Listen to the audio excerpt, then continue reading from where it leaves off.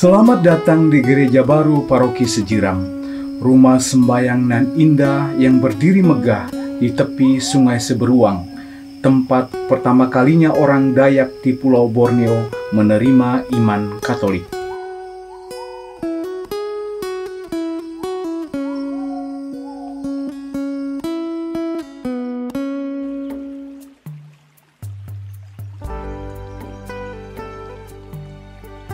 Gedung gereja sekarang merupakan rumah sembayang ketiga yang dibangun sejak orang sejiram pertama kali memeluk iman Katolik pada tahun 1888.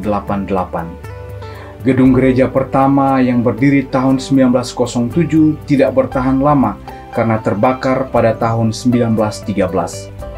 Gereja kedua yang sekarang menjadi gereja lama paroki Sejiram berdiri pada tahun 1921 dan resmi dipakai pada tahun 1924.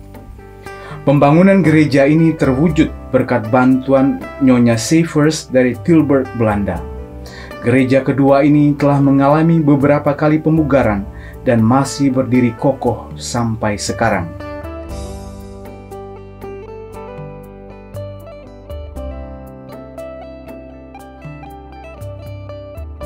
Gereja uh, Sejiram ini tempat pertama iman Katolik hadir. 1892 mulai ini menjadi paroki dari uh, astasi dari paroki Singkawang. Ini pernah menjadi tempat pusat dari kehidupan rohani dan sekaligus juga uh, intelektual sekolah menjadi, pernah menjadi sebuah pusat.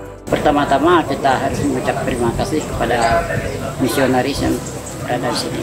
Kalau tanpa mereka banyak yang pasti buta huruf, tidak ada sekolah. Dan itu mereka buka rumah sakit. Nah, kalau tidak ada mereka, kira banyak juga umat yang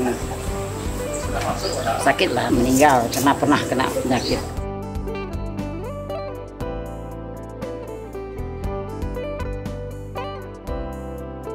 Meskipun masih layak pakai, namun gedung gereja lama ini tidak cukup lagi menampung jumlah umat yang semakin bertambah. Menyadari situasi ini, umat Katolik Paroki Sejiram memutuskan untuk mendirikan gereja baru. Rencana ini terwujud pada tanggal 25 November 2016. Rinduan akan adanya gereja baru untuk di paroki Sejiram ini sebenarnya sudah lama. Hal ini berkenaan dengan daya tampung gereja yang lama dan sekaligus juga dia adalah gereja situs yang sudah dinyatakan sebagai gereja situs oleh pemerintah. Seingat saya sejak tahun 2004. Karena status sebagai gereja situs itu tidak lagi bisa dirombak se sesuai dengan keinginan. Karena itu maka e, sementara pertumbuhan umat e, itu dari tahun ke tahun cukup cukup baik sehingga dia tampung gereja untuk tata perayaan Ekaristi atau ibadat-ibadat yang lain e, pelayanan sakramen itu tidak memadai lagi. Maka direncanakan untuk adanya gereja baru. Pembangunan gereja baru Santo Fidelis Sejiram melibatkan berbagai pihak. Pihak utama tentu adalah umat Katolik Paroki Sejiram sendiri. Swadaya umat melalui yuran pembangunan gereja per kepala keluarga ini mendapat dukungan penuh dari pemerintah provinsi maupun pemerintah kabupaten. Pembangunan gereja baru Sejiram direncanakan selesai dalam lima tahun namun karena keterbatasan dana dan wabah COVID-19, pembangunan gereja harus terhenti selama dua tahun. Partisipasi umat untuk pembangunan gereja secara pribadi saya sangat eh, saya desak karena apa? Karena ya saya punya prinsip kalau kita membangun rumah kita tidak boleh mengandalkan semata-mata bantuan dari orang lain. Karena itu saya sangat tekankan kepada umat di seluruh paroki ini yang kurang lebih ada 2.500an kakak untuk tertib iuran. Meskipun dalam perjalanannya ya bahwa tidak ada sama sekali tidak mungkin ada tetapi ya cukup cukup menggembirakan cukup menggembirakan itu di samping juga gotong royong tenaga uh, yang di yang dibutuhkan untuk membantu proses pembangunan uh, di samping swadaya untuk untuk dana yang digunakan untuk pembangunan gereja pemerintah memang sangat konsen Tadi di 2016 pemerintah provinsi mengalokasikan dana 3 miliar, kemudian di 2018 kembali mereka juga mengalokasikan dana 3 miliar sehingga dari dari pemerintah provinsi itu 6 miliar. Proses pembangunan gereja baru Sejiram merupakan sebuah perjalanan iman. Di dalamnya tidak hanya terjadi pembangunan fisik gereja, tetapi juga menampilkan geliat pertumbuhan iman umat. Dinamika untuk proses pembangunan sekali lagi ya saya selalu yakin bahwa membangun fisik jauh lebih mudah daripada membangun uh, gereja yang non, non fisik. Justru dinamika itu berjalan bersama.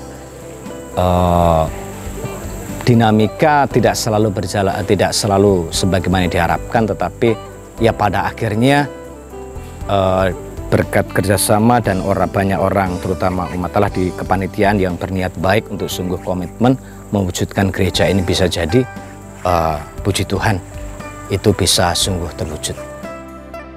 Sekilas tampak bentuk bangunan gereja baru tidak jauh berbeda dari gereja lama Hal ini tentu punya makna, maksud, dan tujuan.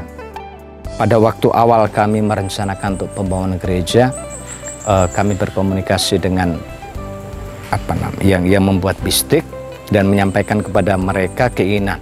Mereka saat kami meminta untuk membantu membuatkan bistik mereka menginformasikan apa yang diinginkan.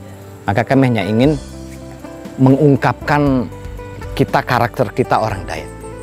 Gagah elegan, tapi menghadirkan diri sebagai yang yang kokoh, maka tinggi itu juga mau mengungkapkan hal itu ke identitas kita sebagai orang Dayak. Gedung gereja baru Paroki Sejiram akan resmi dipakai pada Juli 2022. Hadirnya rumah sembayang baru ini diharapkan semakin menyemangati dan memperkokoh kehidupan beriman umat Sejiram khususnya dan umat Katolik di Keuskupan Sintang pada umumnya. Gereja ini ya 100% belum selesai. Masih beberapa item terutama lingkungan yang masih belum eh, yang masih perlu dibereskan. Mengapa juga nekat untuk diresmikan tahun ini? Karena ya secara fisik bagian gerejanya sudah bisa dipakai, Kemudian juga kalau masih menunggu rentang waktu tertentu nanti pasti ada titik-titik tertentu yang lalu juga rusak.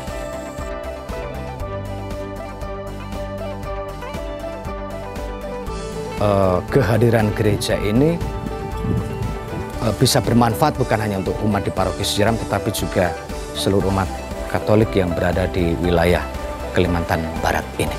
Ini kebanggaan kami tetapi juga kebanggaan kita semua.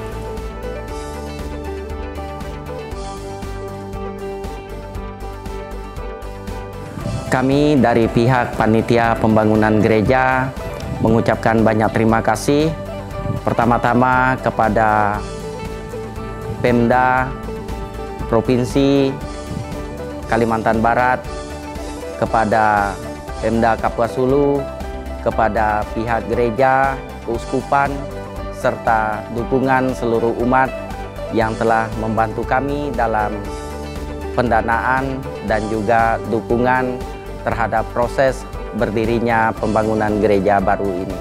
Dengan berdirinya gereja baru di paroki San, paroki Sejiram ini, kami mengharapkan keaktifan umat dalam mengikuti perayaan misa baik pada hari Minggu maupun hari-hari raya.